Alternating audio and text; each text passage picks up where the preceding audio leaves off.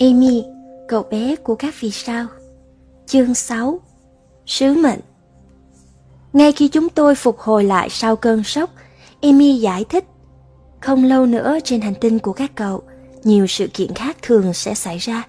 Như những sự kiện nào hả Amy?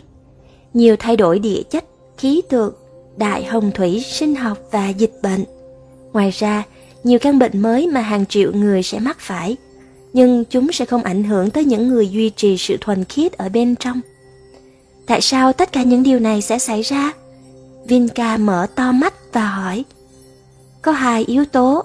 Thứ nhất, do khoa học được sử dụng theo một hình thức phá hoại đối với thiên nhiên, điều này đang tạo ra rất nhiều sự mất cân bằng nghiêm trọng. Ngoài ra, các bức xạ tinh thần tiêu cực do con người phát ra, chúng sẽ tích tụ một cách nguy hiểm trong một lớp năng lượng tâm linh bao quanh thế giới của bạn. Tất cả những điều đó đang ảnh hưởng lớn đến mọi người và mọi sinh vật trên trái đất và hành tinh kia nữa. Yếu tố thứ hai không liên quan gì đến sự tham gia của con người, mà nó liên quan đến sự phát triển và tiến hóa tự nhiên của các hành tinh. Sự quan tâm của Vinca bắt đầu giảm dần. Và Emmy, cậu bắt nguồn từ thế giới văn minh nào? Hãy đi từng bước một nào, tôi đang trả lời câu hỏi đầu tiên của cậu. Quá trình đó lẽ ra là tự nhiên, nó lại bị đẩy nhanh đi bởi những hành động, suy nghĩ và cảm xúc xấu của con người. Những thay đổi sẽ trở nên mềm mại, ít bạo lực và phá hoại hơn chỉ khi con người bắt đầu sống phù hợp với sự hài hòa của vũ trụ. Vẫn còn nhiều điều chúng ta có thể làm để có thể giảm bớt sự mất mát đi sinh mạng hoặc phải để sự hủy diệt hoàn toàn xảy ra. Ngay tận thế à? Sự bắt đầu của nó thôi, nó phụ thuộc vào chính con người đấy. Nếu loài người không thể vượt qua thử thách cuối cùng này, nếu loài người không thay đổi thì đó sẽ là dấu chấm hết. Con người, họ sẽ tự hủy diệt. Nhưng nếu con người hợp nhất và bắt đầu sống theo cách của Thượng Đế, thì đó sẽ là sự khởi đầu của một thiên đường thực sự. Cậu đâu mất xu nào để giúp chúng tôi tránh được sự hủy diệt đó đâu chứ. Vinca nói với một giọng điệu trách móc. Amy vẫn vui vẻ và đáp lại. Tôi đã giải thích cho cậu tại sao chúng tôi không thể can thiệp một cách công khai và rộng rãi. Quy luật vũ trụ mà chúng ta phải tôn trọng không cho phép. Cậu có thích không nếu một học sinh giỏi hơn làm bài kiểm tra cho cậu? Chà, điều đó sẽ khiến tôi vô cùng hạnh phúc đấy. Điều đó thật tuyệt vời, tôi sẽ không phải học nữa, tôi sẽ đạt được điểm cao. Điều đó sẽ là lừa dối. Vinca nhìn tôi, nhưng emmy không nghiêm túc lắm. Hơn nữa, nếu cậu xoay sở để chuyển sang khoa học tiếp theo, cậu sẽ không hiểu gì hết. Cậu sẽ trở thành một trở ngại cho các bạn cùng lớp và cả trường nữa. Mặt khác, cậu sẽ mất đi niềm tự hào chính đáng vì đã lên được lớp mới theo nỗ lực của bản thân. Cậu nói đúng đấy, Amy, tôi xấu hổ nói. Vinca cũng đã hiểu. Đó là sự thật, sẽ thật tệ nếu cậu làm mọi thứ cho chúng tôi nhỉ? Nó cũng sẽ rất là tệ nếu chúng tôi không làm gì cả đấy. Cậu không thể để một đứa trẻ chạy về phía một vách đá mà không giúp nó, để nó không bị rơi xuống. Có thể không được phép để giữ đứa bé lại, nhưng chúng tôi có thể khuyên đứa bé để nó không đi theo con đường xấu đó. Đó chính xác là sứ mệnh mà các cậu phải thực hiện. Tôi không hiểu cho lắm. Tôi nói. Tôi hiểu, Vinca nói. Vậy cậu hãy giải thích đi. Chúng tôi đã hóa thân vào những thế giới không văn minh để giúp họ tránh bị hủy diệt. Hoàn hảo, Amy kêu lên. Làm thế nào mà cậu biết hả Vinca? Tôi không biết. Đó là cách tôi nói chuyện với cậu đấy. Có những điều cậu biết bằng trực giác. Cậu chỉ cần hai hoặc ba chi tiết và phần còn lại trở nên rõ ràng. Vinca tiếp tục nhiệm vụ của mình. Vậy thì tôi đến từ thế giới nào? Điều đó rất ít quan trọng. Nhớ lại quá khứ không phục vụ gì cho chúng ta cả. Điều quan trọng là hiện tại. Nhưng tôi thực sự muốn đến thăm hành tinh gốc rễ của tôi, quê hương thực sự của tôi. Khi tình yêu tiết lộ cho chúng ta ý nghĩa của sự tồn tại, chúng ta nhận ra toàn bộ vũ trụ này là nhà của chúng ta và tất cả chúng sinh đều là anh chị em của chúng ta, Amy nói. Các cậu là một phần của sứ mệnh hòa bình đến các hành tinh của các cậu. Các cậu đóng vai trò hỗ trợ trong sứ mệnh biến đổi văn minh thế giới của các cậu, để biến chúng thành một nơi không có chiến tranh, cạnh tranh, bất công và sự chia rẽ, để chúng có thể biến đổi thành những nơi hòa bình, tương giao, vui vẻ, yêu thương như phần còn lại của vũ trụ văn minh. Một cái bóng đổ xuống mặt Vinca. Khi tôi nhớ về người Terry, có vẻ như sẽ không thể làm được điều đó ở hành tinh kia đâu. Người Terry là ai? Tôi hỏi. Trong thế giới của Vinca, Amy giải thích, có hai loại người. Một trong số đó là người Swama. Vinca cô ấy thuộc giống loài đó. Còn loại người còn lại là người Terry. Những người này được chia thành hai nhóm. Hai nhóm này lại thường xuyên chiến tranh với nhau – người Terry Wackles chống lại người Terry Zumbo. Người Terry là những con người cực kỳ hung dữ. Họ không phải con người. Vinca kêu lên. Rõ ràng là cô ấy rất buồn. Bọn họ là những con vượn, những con vượn có trí khôn. Tôi không hiểu. Làm thế nào mà một con vượn lại có thể có trí khôn hả Vinca? Họ có nhiều trí thông minh, lanh lợi đấy, nhưng họ không có lòng tốt. Họ là những tên tội phạm, những kẻ dối trá, yếm thế, không trung thực, vô đạo đức, vật chất và những kẻ bạo chúa. Vinca vô cùng khó chịu. Khi lắng nghe cô ấy, Emmy bắt đầu cười và nói Thật là một đống hoa tàn úa nhỉ? Nhưng cậu đã sai rồi khi thể hiện như vậy về những người anh em của mình. Cậu nên hiểu, thay vì phán xét họ, không phải tất cả những người Terry đều giống như cách mà bạn mô tả đâu. Một trong số họ còn có hơn cả 700 đơn vị đấy. Amy cậu ấy đang đề cập đến cấp độ tiến hóa. Cậu ấy sở hữu một cỗ máy cho phép cậu ấy nhìn thấy mức độ ánh sáng tâm linh của bất cứ người nào hoặc của bất kỳ động vật nào. Cậu gọi đó là máy đo cảm biến. Cậu ấy nói rằng 700 đơn vị là đủ để có thể được giải cứu bởi những người ngoài hành tinh trong trường hợp thảm họa không thể khắc phục được xảy ra ở trái đất. Với 700 đơn vị, một người đủ tốt để xứng đáng được sống trong thế giới văn minh. Cậu ấy không muốn cho tôi biết tôi có bao nhiêu đơn vị, vì như cậu ấy đã nói, nếu sự tiến hóa của tôi là thấp, tôi có thể nhụt chí, và nếu như nó cao, tôi có thể trở nên kiêu ngạo, và nếu một người trở nên kiêu ngạo cái tôi sẽ lớn lên và các đơn vị của người đó sẽ giảm đi. Tôi không thích nghe về những người Terry này. Tôi muốn biết thêm về chỉ số đơn vị của mình cơ. Tôi cố gắng đào thêm một chút thông tin về điều đó. Vinca và tôi phải có chỉ số đơn vị rất cao nhỉ? Tại sao cậu lại nghĩ vậy hả Jim? Bởi vì chúng tôi bắt nguồn từ thế giới văn minh. Tôi đã nói với cậu rằng, nhiều người từ thế giới của cậu có những thước đo cao hơn tôi rất nhiều. Sự khác biệt là, họ không biết những gì tôi đang biết. Họ không được giáo dục trong một môi trường thuận lợi và có đầy đủ thông tin cần thiết. Nhưng, linh hồn của họ trong nhiều trường hợp có mức độ rất cao và họ không nhất thiết phải bắt nguồn từ các thế giới văn minh. Những người đưa tin như cậu đã phạm một số lỗi ở trong kiếp trước một số tội chống lại tình yêu. Vì những sai sót này phải trả giá bằng sự phục vụ, nên những người này có quyền lựa chọn loại công việc công ích nào mà họ muốn để hoàn thành tự làm thanh khiết lại bản thân. Cả hai cậu đã tự do chọn lựa đấy để hoàn thành nhiệm vụ mà các cậu đang thực hiện. Tôi đã phạm tội nào à? Cả hai chúng tôi đều hỏi cùng một lúc. Điều đó không còn quan trọng nữa, Cậu không bao giờ được quay trở lại và nghĩ về những lỗi lầm trong quá khứ, cho dù chúng là của cậu hay của người khác. Nếu cả hai cậu đều dành nỗ lực để hoàn thành thỏa hiệp mà cậu mắc nợ với chính mình, thì cuối cùng cậu sẽ trở lại sạch sẽ và sáng bóng. Sau đó các cậu có thể trở lại một thế giới tốt đẹp, giàu tình huynh đệ.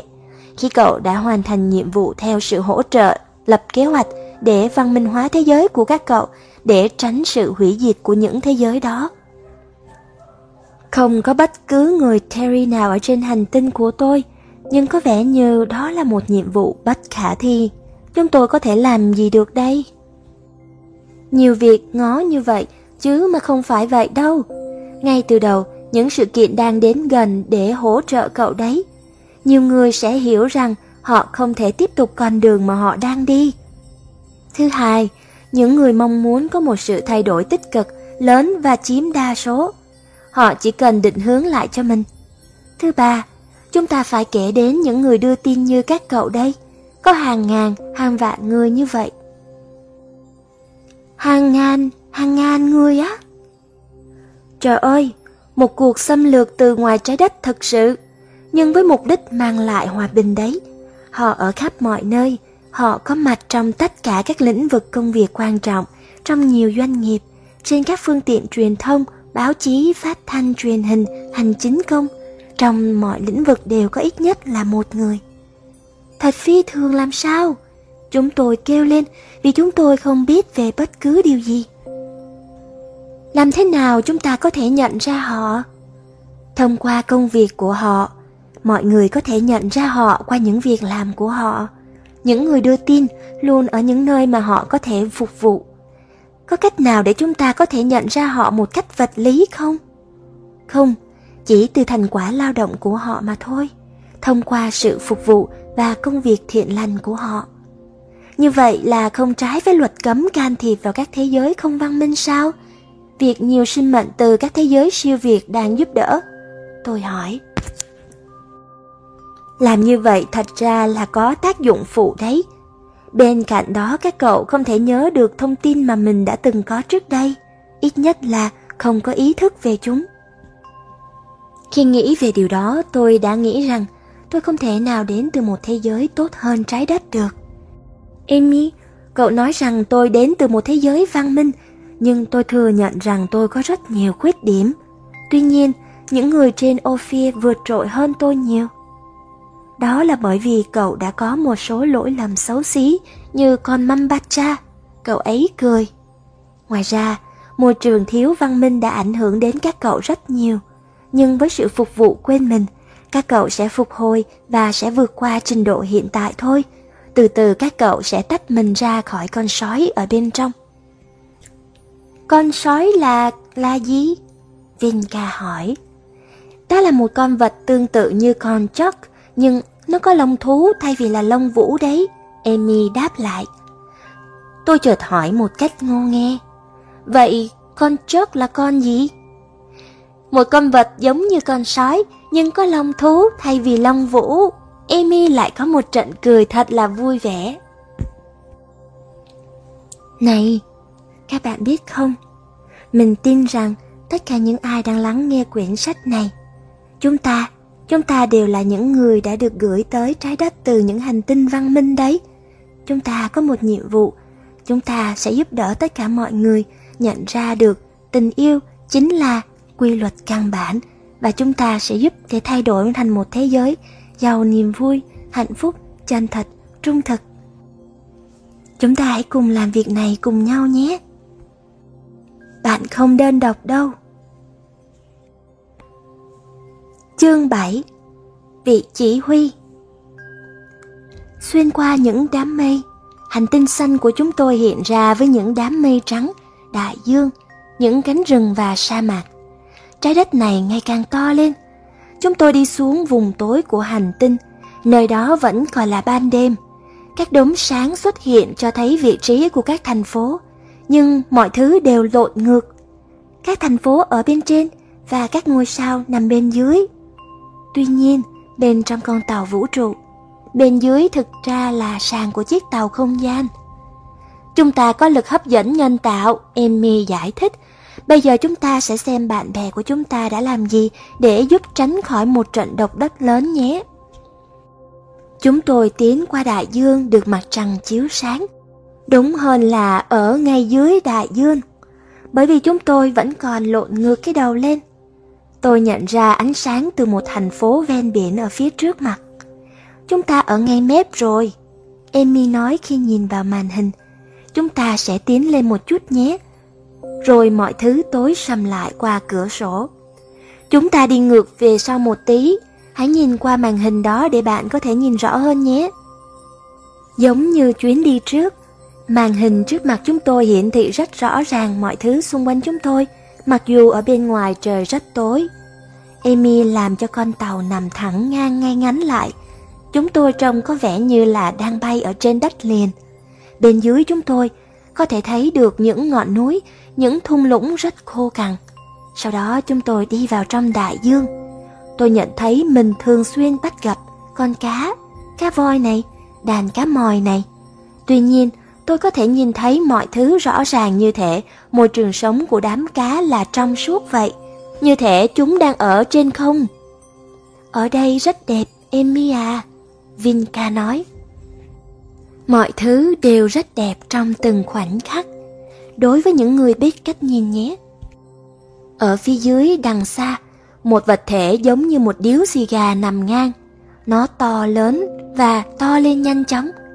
Không lâu sau, tôi nhận ra rằng đó là một con tàu vũ trụ hoành tráng. Nó chìm dưới mặt nước, lơ lửng ở gần đáy. Đó là một cảnh tượng rất ấn tượng. Nó tương tự như một thành phố khổng lồ. Khi chúng tôi ở gần nó, dường như không thể thấy điểm cuối cùng của nó ở đâu. Xa quá nên trông nó mờ mờ ảo ảo. Hàng nghìn, hàng nghìn cửa sổ đang được thắp sáng. Nó cho thấy rằng con tàu này phải có đến hàng chục, hàng chục tầng và lầu đấy. Chúa ơi, cái gì vậy? Vinca thốt lên ngạc nhiên. Đó là con tàu mẹ đấy. Nó là một trong những con tàu quan trọng nhất đang tham gia vào nhiệm vụ giúp đỡ trái đất. Vì một lý do bất thường, nó đã phải xuống đáy đại dương. Thường thì nó vẫn ở trong không gian cơ. Nó là một loại tàu sân bay, nhưng thay vì chở máy bay, nó chở các con tàu vũ trụ. Nó cũng có thể chứa cả hàng triệu con người bên trong. Nó phải luôn luôn ở gần. Vì không bao giờ chúng ta biết được khi nào chúng ta cần đến nó để giải cứu nhiều người. Đó là nơi mà vị chỉ huy, phụ trách kế hoạch viện trợ cho trái đất cư trú. Anh ta sống trong con tàu đó vĩnh viễn. Các cậu sẽ biết tại sao anh ta lại ở đây. Amy vận hành các đòn bẩy. Khuôn mặt của một người đàn ông xuất hiện trên màn hình. Trong khoảnh khắc đó tôi hiểu rằng người đó không phải là người trái đất đâu, vì sự xuất hiện của ông ấy khiến cho tôi liên tưởng đến hình ảnh của những người thầy, những người thầy hay những bậc thầy vĩ đại của nhân loại. Sự thanh thản của ông ấy nhìn một cái là nhận ra ngay. Với nét mặt trông đẹp hơn những cư dân bình thường ở trên trái đất.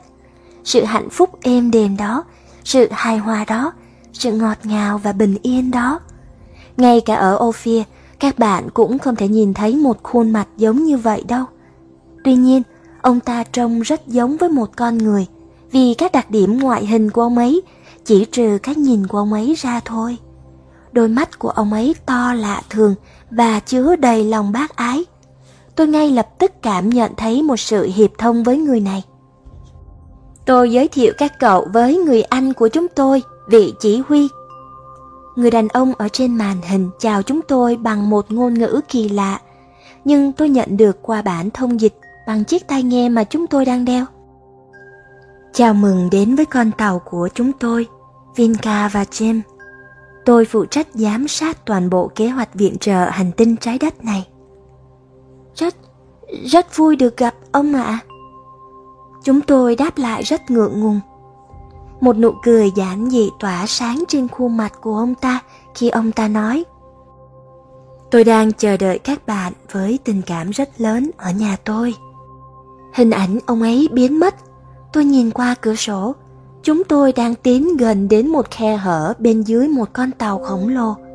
Chúng tôi vào theo chiều dọc. Chúng tôi xuất hiện trong một không gian không quá lớn và hoàn toàn khô ráo. Có những chiếc phi thuyền vũ trụ nhỏ khác giống như chiếc của Amy đậu bên trong. Trong khi chúng tôi đổ chiếc phi thuyền, tôi có thể thấy rằng khe cửa mà chúng tôi đi vào đã đóng lại. Amy đứng dậy. Bây giờ chúng ta sẽ hạ xuống nhé. Điều đó có nghĩa là chúng ta sẽ đi ra ngoài à? Tất nhiên rồi, chúng ta sẽ đi gặp vị chỉ huy. Tôi muốn hỏi cả triệu câu hỏi, nhưng tôi không có thời gian, vì Amy đã đưa chúng tôi đến lối ra. Vừa mở cửa đã thấy một cái cầu thang. Trong khi chúng tôi đi xuống cầu thang, tôi nhận thấy con tàu của chúng tôi đang được hỗ trợ bởi một cái giá ba chân. Đó là lần đầu tiên tôi có mặt trên tàu khi nó hạ cánh xuống. Trước kia, nó luôn lơ lửng ở trong không khí. Chúng tôi đi về phía cửa và khi chúng tôi đến nơi, nó tự mở ra. Một hành lang dài xuất hiện được chiếu sáng rực rỡ. Trần nhà rất cao, nó lõm xuống như hình lòng chảo vậy. Trần được chiếu sáng vừa phải bằng ánh sáng màu kem dịu. Sàn được tạo thành từ một vật liệu mềm và xốp tương tự như cao su. Nó cũng được chiếu sáng với một màu xanh nhạt tuyệt đẹp. Các bức tường dường như được làm từ một kim loại mềm và mờ đục. Có nhiều cửa ra với kích thước lớn hơn, bổ sung cho bức tranh toàn cảnh. Một số cái rất dài và có những ký hiệu được chiếu sáng bằng ngôn ngữ mà tôi không thể nhận ra. Đó là ngôn ngữ của liên minh đấy, Amy giải thích. Tôi tưởng rằng mỗi thế giới có ngôn ngữ riêng của mình chứ. Đúng vậy, nhưng chúng tôi cũng sử dụng một ngôn ngữ chung để chúng tôi có thể hiểu nhau, đặc biệt là dưới dạng văn bản. Đó là một ngôn ngữ chung nhân tạo, tất cả chúng tôi phải học nó từ khi còn nhỏ. Chúng tôi biết viết chúng và dễ viết hơn là nói đấy. Tại sao cơ? Bởi vì không phải tất cả con người đều có hình dạng cái cổ họng và dây âm thanh giống nhau đâu. Đối với một số người rất dễ để phát ra một số âm thanh nhất định, nhưng đối với những người khác thì lại rất khó. Giống như người Trung Quốc này, họ rất khó phát âm ra chữ cái R. Người Trung Quốc là ai? Vinca hỏi. À, một dân tộc đến từ một nơi trong thế giới của tôi. Họ có đôi mắt như thế này này. Tôi kéo căng mắt ra để cho cô ấy coi. Đẹp làm sao? Cô ấy nói. Cả ba chúng tôi cùng cười. Chúng tôi đi đến cuối hành lang. Trước mặt chúng tôi hiện ra một cánh cửa cực kỳ rộng. Nó từ từ mở ra. Đó là một cái thang máy. Chúng tôi đi vào trong. Tôi tìm các nút bấm nhưng lại không thấy đâu. Emmy chỉ đơn giản nói. Chỉ huy. Và rồi cánh cửa đóng lại.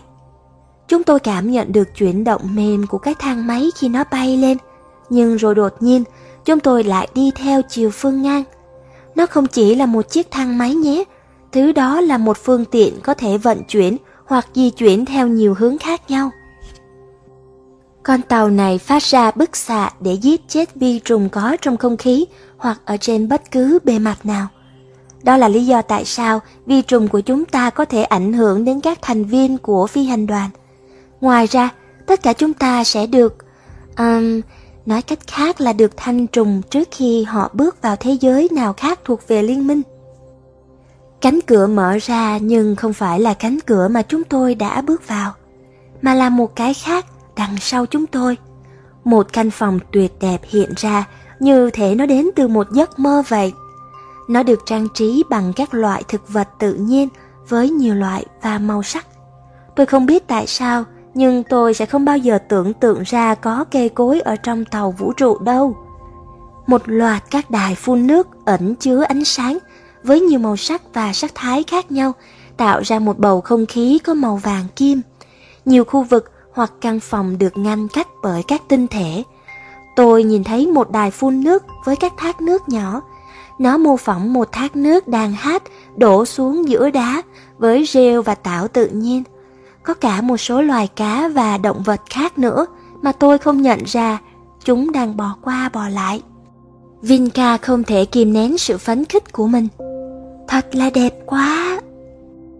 Những linh hồn đã tiến hóa cần bao quanh mình bởi vẻ đẹp, và không có gì có thể đẹp hơn tự nhiên.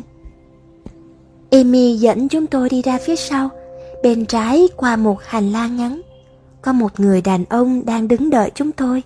Người đàn ông ấy đã chào chúng tôi qua màn hình, đang đứng chờ chúng tôi. Chỉ huy trưởng. Trước mặt ông ấy, tôi nhìn thấy một cửa sổ khổng lồ, ngắm nhìn ra một con sông chảy êm đềm qua đá và thảm thực vật. Cuối cùng là một mặt trời màu xanh dương đang ló dạng trên những ngọn đồi. Tôi không biết đó là cảnh quan nhân tạo được tạo ra trong không gian khổng lồ ở bên trong con tàu hay là một cái thứ gì khác. Amy giải thích với chúng tôi rằng người chỉ huy, ông ấy thích nhớ về những phong cảnh của quê hương, nơi hành tinh của mình. Đó là lý do tại sao ông ấy đã tái tạo khung cảnh thiên nhiên đặc trưng của hành tinh, quê hương mà từ đó ông ấy đã ra đi. Nhưng điều chắc chắn là cái cửa sổ tuyệt vời đó là một màn hình chiếu. Ông ấy mặc đồ màu trắng, ông ta mặc một bộ đồ tương tự như Amy, nhưng lại thùng thình hơn nhiều, để hở cổ và một phần ngực. Tầm vóc của ông ta thật là ấn tượng. Ông ấy cao không dưới 1m95 nhé. Ông như đang tỏa ra ánh sáng, một vầng hào quang. Ông ấy dường như là đang tự phát sáng. Amy nói chúng tôi đến gần ông ấy hơn. Tôi đầy kính trọng, sợ và xấu hổ nữa. Đó là bởi vì bây giờ tôi biết, nhờ có Amy, là tôi có đầy rẫy những khiếm khuyết, rằng khi được bao quanh bởi một vần hào quang của sự thuần khiết, nếu phải so sánh, thì tôi đang ở dưới mức của một con lợn. Ít nhất đó là cảm giác của tôi. Ông ấy nói với một giọng nhẹ nhàng và yên tĩnh. Đôi khi việc so sánh là hữu ích, nhưng những lần khác nó lại gây hại cho chúng ta. Giống như Amy, ông ấy cũng có thể đọc được suy nghĩ. Và tệ hơn nữa, Vinca, cô ấy lại rơi vào một trạng thái mê man trước sự hiện diện của vị chỉ huy. Cô ấy tiến về phía ông, nắm lấy tay, hôn nó và định quỳ xuống. Đừng làm vậy, ông ấy nói, nâng cánh tay cô lên. Tôi cũng giống như em, tôi là một người phục vụ, một người thân của em và những người yêu mến Thượng Đế. Chỉ có trước Thượng Đế con người mới có thể quỳ gối thôi. Bị ấn tượng với con người đó, Vinca đã rơm rớm nước mắt. Luôn có ai đó đứng ở bên trên chúng ta và có ai đó ở phía dưới chúng ta. Chúng ta phải lắng nghe những lời khuyên của người đang đứng trên và chúng ta phải hướng dẫn những người ở bên dưới mình. Em chỉ đơn giản là tuân thủ các hướng dẫn từ người anh lớn của mình. Bên trên hay bên dưới chỉ để biểu lộ cấp độ tiến hóa mà thôi, Emmy giải thích. Vị chỉ huy đi về hướng một món đồ nội thất rất hiện đại với những đường nét khí động học. Nó trông giống như một cái bàn vũ trụ vậy. Khi đã ngồi xuống, ông ấy bắt đầu nói Tôi đã xuống hành tinh này với mục đích duy nhất là thiết lập mối liên hệ này với các em. Trong khoảnh khắc đó, tôi không thể hiểu được tầm quan trọng của những gì ông ấy nói. Tôi không thể hiểu được sự thật vĩ đại. Chỉ huy của một chiến dịch khổng lồ được thực hiện bởi những sinh vật ngoài trái đất đang đáp xuống trái đất trên con tàu vũ trụ này, con tàu với kích thước của một thành phố, với hàng nghìn hoặc thậm chí là hàng triệu thành viên trên tàu chỉ để giao tiếp với hai đứa trẻ con à. Amy ngắt lời tôi. Các cậu sẽ mang thông điệp của ông ấy đến các thế giới của các cậu. Những gì ông ấy sắp nói với các cậu sẽ phục vụ trái đất nhiều như đối với Kia vậy. Bởi vì vị chỉ huy đang liên lạc với những người anh em của chúng tôi, những người phụ trách kế hoạch hỗ trợ cho Kia. Cả hai thế giới đều đang ở trong một tình huống tương tự nhau. Các cậu hãy chú ý nhé. Vị chỉ huy tiếp tục câu chuyện. Như các em đã được thông tin trước, các em đã được sắp đặt vào kế hoạch tiến hóa vũ trụ khổng lồ cho thế giới của các em. Rất nhiều máy chủ đang tham gia vào kế hoạch này. Một số sinh mệnh đã hóa thân đến với những thế giới này để tham gia kế hoạch mà hiện giờ họ vẫn chưa nhận biết về vai trò của họ vào thời điểm này. Trong khi những người khác đã tham gia và đồng thời họ tự nhận thức được vai trò của họ bên trong kế hoạch. Những người anh em từ các hành tinh vượt trội hơn trong chúng tôi đang thực hiện sứ mệnh này để giúp đỡ và cuối cùng những người anh em khác, những người mà không còn là nô lệ cho những giới hạn của một cơ thể đang cộng tác với chúng tôi trong kế hoạch này đấy.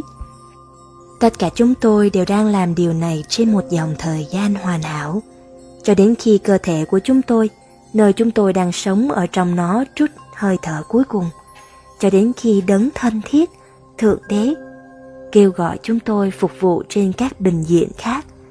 Đối với hành tinh vị tha này, chúng tôi không chờ đợi phần thưởng nào khác ngoài việc hoàn thành tiếng gọi của lương tâm, chỉ vì tình yêu, chỉ tình yêu đang chuyển động mà thôi. Các em phải biết rằng, nhiều thay đổi quan trọng và sâu sắc đang diễn ra.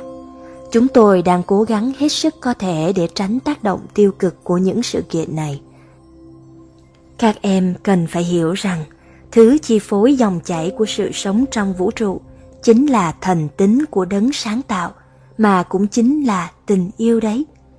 Nếu con người không thể để tình yêu chi phối, các em đang hành động chống lại ý thức tự nhiên của vũ trụ. Do đó, các em không thể có được sự hòa hợp trong cuộc sống cá nhân cũng như trong các mối quan hệ xã hội hoặc trên thế giới của mình.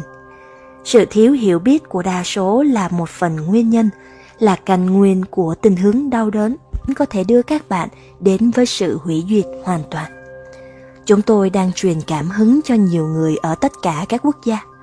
Chúng tôi gửi thông điệp với những lời dạy và hướng dẫn, nhưng chúng tôi không thể tránh khỏi việc rằng một số trong số các thông điệp có thể trở nên méo mó bởi niềm tin cá nhân của những người tiếp nhận chúng. Điều này tạo ra sự bối rối và chán nản, nhưng từng ngày một, mọi thứ sẽ trở nên rõ ràng hơn. Chúng tôi cũng truyền cảm hứng cho các tác phẩm hoặc các tác phẩm văn học, nhạc kịch, phim ảnh và các biểu diễn văn hóa khác. Chúng tôi sẽ làm bất cứ điều gì có thể để chúng có thể được truyền bá rộng rãi hơn, vì chúng chính là hạt giống của tình yêu cho ý thức và là một sự chuẩn bị tuyệt vời cho cuộc gặp gỡ vĩ đại. Amy xen vào để giải thích những gì ông ấy đang đề cập tới. Các bạn sẽ không phải lúc nào cũng bị tách rời khỏi những người anh em của chúng ta trong vũ trụ đâu. Khi các bạn không còn bị chia rẽ bởi bất công và bạo lực nữa, bởi vì việc cố làm ngơ với những điều đang cai quản vũ trụ chính là làm ngơ tình yêu. Rồi thì các bạn cũng sẽ gia nhập với liên minh thôi. Chắc phải tới năm 5500. Tôi đã nghĩ như thế khi hình dung về những con người đang sống ở trên đường phố trong thế giới của chúng tôi. Tất nhiên thì vị chỉ huy đã nghe thấy tôi. Nếu không có điều nào khác biệt xảy ra, quá trình này có thể mất tới hàng thiên niên kỷ hoặc không bao giờ thành hiện thực. Nhưng trong tương lai, những hiện tượng không thể giải thích bằng bất cứ lý thuyết nào lại đang đến gần. Trong những khoảnh khắc ấy, các bạn phải nhớ những lời của chúng tôi nhé. Cũng đều đã được nói bởi những vị thầy tâm linh trong lịch sử của các bạn hết rồi. Các bạn phải hiểu rằng điều duy nhất có thể cứu chính các bạn khỏi sự hủy diệt đang sắp xảy ra đó là hãy nhận ra quy luật vũ trụ về tình yêu và cho phép nó chi phối mọi phương diện của cuộc đời mình. Nếu các bạn không làm như vậy, các bạn sẽ không xứng đáng và không thể tồn tại. Chúng tôi sẽ giải cứu những người đã làm như vậy. Lúa mì sẽ bị tách ra khỏi rơm rạ. Kế hoạch mà chúng tôi đang phục vụ là một kế hoạch linh thiêng, được quyết định bởi chương trình của đấng tạo hóa kể từ muôn đời. Chúng tôi là những người thực thi và phục vụ Ngài. Amy đã đứng lên. Đó là tất cả, các em thân yêu. Bây giờ tôi để các em lại với đội trưởng nhé. Anh ta đang chỉ đạo công việc mà chúng tôi sắp thực hiện để tránh thiệt hại lớn về nhân bản ở phần này của hành tinh. Trong khoảnh khắc đó, người đàn ông mà ông ta đang nói đến bước vào trong phòng, ăn mặc như một người bạn nhỏ của chúng tôi và không cao bằng chỉ huy. Anh ấy nói với chúng tôi, Tôi sẽ chỉ cho các em cách chúng tôi làm chậm tác động của một trận động đất đang đến gần nhé. Làm ơn đi theo tôi nào. Anh ấy đã hướng dẫn chúng tôi với tình cảm và sự quan tâm rất lớn. Hãy luôn ở cùng Thượng Đế. Chỉ huy bày tỏ trong khi ông ấy đặt tay qua vai chúng tôi. Hãy luôn nhớ rằng các bạn được bảo vệ. Đừng bao giờ sợ hãi. Chúng tôi sẽ cứu các bạn khỏi mọi tổn hại, nhưng không thể lạm dụng biện pháp bảo vệ này bằng cách phạm tội chống lại thiên nhiên và chống lại những con người nhạy cảm. Trong những trường hợp đó, chúng tôi sẽ không thể làm gì cả. Đừng quên ghi thông điệp này của tôi vào sách của các em nhé. Giá mà có thể, chúng tôi sẽ công bố điều này từ các chiếc loa lớn trên các phi thuyền của chúng tôi. Chúng tôi muốn giới thiệu mình qua các chương trình phát thanh và truyền hình. Chúng tôi sẽ hoàn toàn hiển thị về mình trên toàn thế giới nhưng chúng tôi không được phép làm như vậy. Chúng tôi chỉ được phép gửi các thông điệp về tình bạn của mình thông qua các kênh mà chỉ có thể được chứng minh thông qua ý thức bên trong, ý thức thiêng liêng. Đó chính xác là những gì mà các bạn cần phải phát triển để tiến hóa và để cứu lấy bản thân. Đó là một lý do mạnh mẽ khác đã cản trở chúng tôi công khai thể hiện bản thân mình trên quy mô lớn. Hãy chiêm nghiệm về điều đó nhé. Ông ấy để chúng tôi ở ngay cửa thang máy. Điều cuối cùng ông ấy nói là Người anh trai đầy yêu thương của tôi đã yêu cầu tôi truyền tải tình yêu lớn của anh ấy đến tất cả những người đau khổ. Anh ấy muốn các bạn biết rằng anh ấy đã không bao giờ nghỉ ngơi, dù chỉ một ngày, kể từ khi các bạn xuất hiện. Và rằng anh ấy sẽ không làm như vậy cho đến khi tất cả mọi người đều sống trong hòa bình và hạnh phúc. Nhưng các bạn cũng đừng nghỉ ngơi nhé, vì các bạn chính là đôi tay và miệng của người anh em lớn của các bạn đấy. Tạm biệt những người bạn của tôi. Hết chương 7 Người anh trai đầy yêu thương của vị chỉ huy là ai nhỉ? Mời các bạn lắng nghe video tiếp theo để tìm hiểu nhé.